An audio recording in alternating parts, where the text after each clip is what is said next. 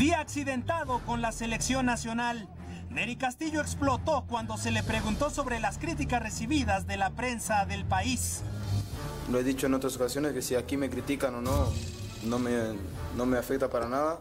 Y, me, te lo digo, me da lo mismo porque todos ustedes que están aquí nunca han jugado al fútbol.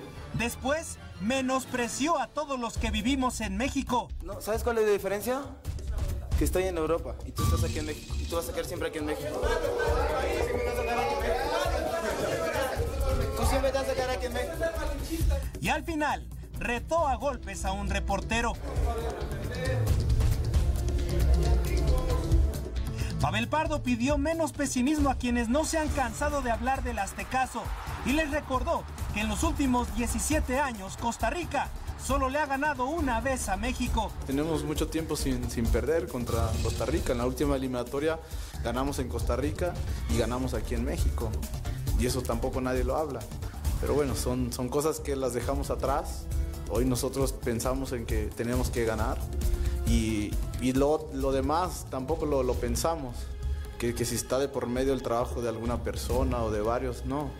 Después, Fernando Arce le mandó un mensaje al técnico tico Rodrigo Kenton, quien dijo que a los jugadores mexicanos les faltaba humildad. No somos un equipo mexicano que sea que no tenga humildad, al contrario. Se ha comentado por ahí eso. Al contrario, lo, lo, recibimos con todo el respeto porque es una selección, está representando un país también importante.